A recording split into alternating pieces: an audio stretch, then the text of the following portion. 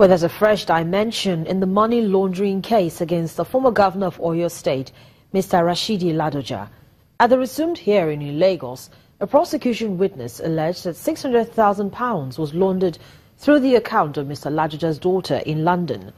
The witness, a former senior special executive assistant to Mr. Ladoja, told the court that the money was part of 634 million naira which some stockbrokers contributed for expenses during Ladoja's impeachment process. According to him, the former governor had earlier instructed the sale of some shares belonging to the Oyo State government to the stockbrokers. However, on the cross-examination, the witness said he did not receive any acknowledgement for the payment of the 600,000 pounds from Mr. Ladoja's daughter.